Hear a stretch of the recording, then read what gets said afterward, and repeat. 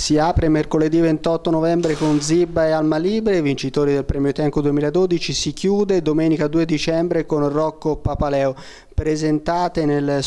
nel, suggestivo scenario del tunnel della Biblioteca La Fornace di Moglie di Magliolati le iniziative per il quinto compleanno della Biblioteca La Fornace, scenario non casuale questo del tunnel. Ce lo facciamo spiegare dall'assessore alla cultura Sandro Grizzi del Comune di Magliolati. Sì, questo tunnel, questo luogo secondo me veramente è fatato, eh, anche perché ha, ha dimostrato ulteriori qualità, oltre alla bellezza e alla suggestione del posto, ha dimostrato questa qualità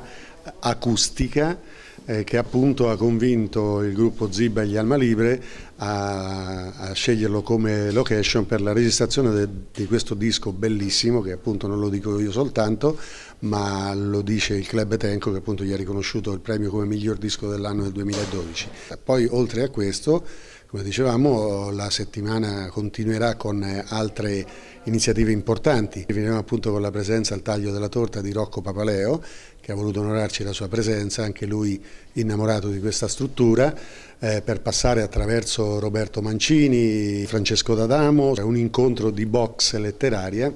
se vogliamo,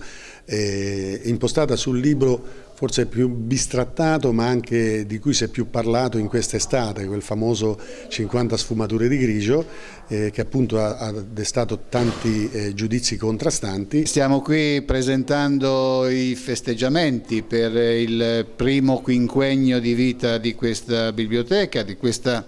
eh, magnifica iniziativa, perché forse chiamarla solo biblioteca è limitativo, che è stata costituita e costruita qui eh, a Moia di Maiorati con, eh, anche con l'appoggio della Banca Popolare di Ancona, ne siamo estremamente soddisfatti perché crediamo che oltre al giusto riconoscimento a chi la gestisce, chi ha portato avanti questa idea, eh, sia anche importante che la cultura mantenga anche in questi periodi di grosse difficoltà economiche, mantenga una presenza sul territorio in modo tale che ehm, anche i, i, i, momenti meno felici della, della nostra esistenza possono essere confortati da un incontro, da un libro, da una qualsiasi manifestazione manifestazione che ci fa non solo dimenticare qualche cosa, ma anche pensare ad un futuro che sicuramente può essere migliore. È sicuramente una delle migliori soddisfazioni di questi due mandati come sindaco. Questa è la scuola che abbiamo appena inaugurato, ma anche tante altre.